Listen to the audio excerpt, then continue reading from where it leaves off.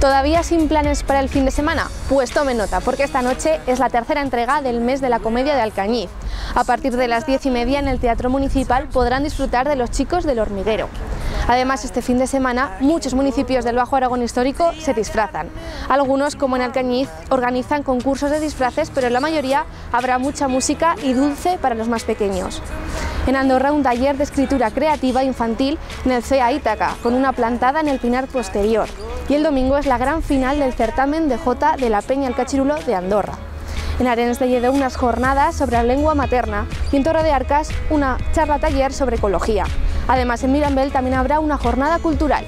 ¿Con cuál de todos estos planes se quedan? Pues disfrútenlos y sobre todo sean felices.